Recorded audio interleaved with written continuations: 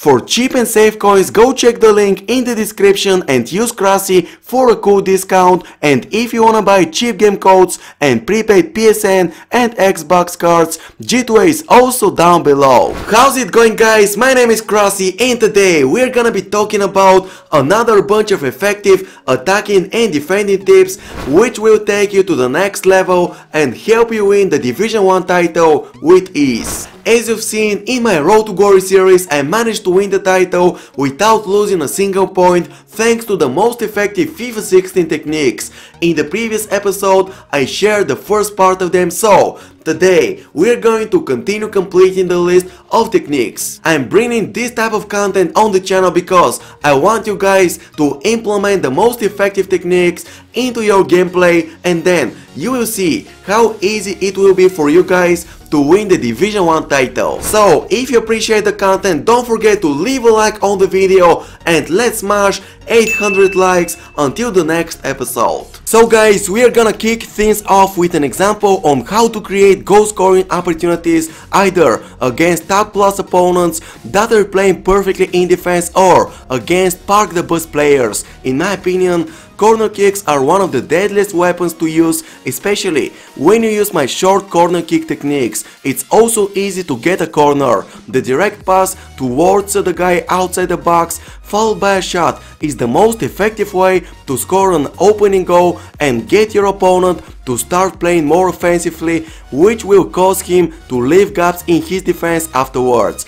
That's exactly guys what happened in these two examples. I managed to score 10 goals in total after I scored the opener using this corner kick technique. Well, let's move on to another example describing the best and most effective ways of building fast counterattacks. First of all guys, you need a proper custom tactic. In the previous episode I showed you how my after patch custom tactic affected the defense. Today, you're gonna see how it affects the attack. As you can see, I've set the speed option at 95, therefore, once I steal the ball, I will get supported by a couple of teammates in the attack. Also, I use a game changer button guys, the L1 LB button, which causes my teammates to start running towards the opposing goal and then it's extremely easy for me to build a deadly attack based around short passes and through balls between my players. My after patch custom tactic will boost the efficacy of your counterattacks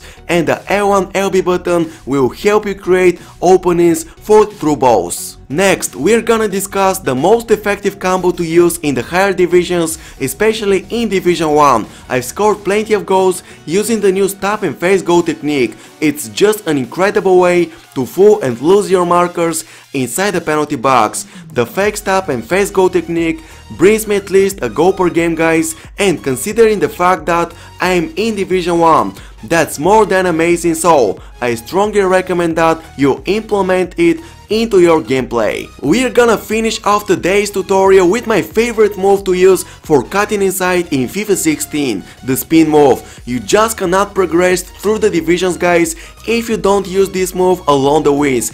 This is a real nightmare for every single opponent, it doesn't matter if you are in Division 10 or Division 1, it works anywhere. It's a quick way to change the player's running direction which causes your opponents to lose you. I've scored a bunch of goals guys after the spin move and it has brought me so many wins in the higher divisions. So fellas, you've got the second part of the most effective techniques in FIFA 16 added to the list. Also, I have in-depth tutorials on every single technique and you can find its link in the description down below. Thank you for watching, my name is Krasi, don't forget to follow me on Twitter for the latest updates and special giveaways, and I will see you all tomorrow.